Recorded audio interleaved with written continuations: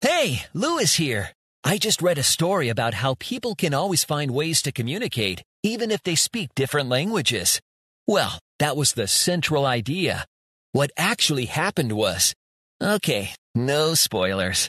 It was a nonfiction narrative, so it followed a narrative arc similar to a fictional story. Not sure what a narrative arc is? Let's use the nonfiction narrative, The Oasis, Africa, by Ernest H. Griffin to get a better understanding. To better understand a narrative, you can map its plot events on a narrative arc diagram. The story begins with the exposition. The setting is the Sahara, where a group has been traveling on foot for eight days. World War I is famous for trench warfare, and this story's from a collection titled Made in the Trenches.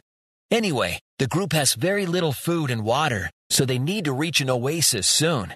The action starts when they run into a dangerous Scirocco, or a hot, dusty wind.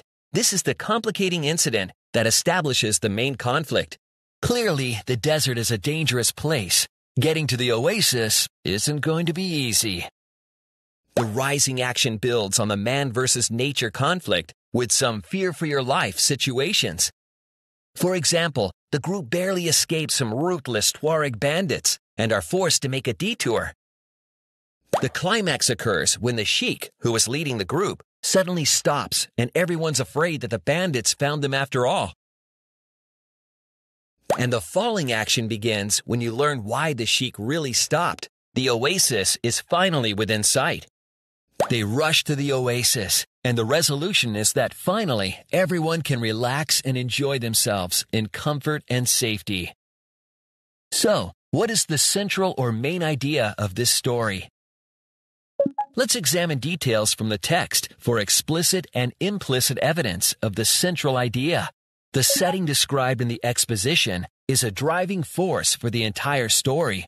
The narrator explicitly says that the lack of water in the desert is a serious problem, and the complicating incident shows that thirst isn't the only danger in the desert. You can infer that the time spent dealing with these setbacks makes the narrator's exhaustion and thirst even worse, in addition to the desert's vast size and the heat. Then, the man versus nature conflict is partly resolved with civilized comforts. Altogether, you can conclude that nature can be harsh and unforgiving. Analyzing the narrative arc of a nonfiction narrative can help you better understand the story. Explicit and implicit information in the text also can help you figure out the narrative's central idea. Now, I need a smoothie or something.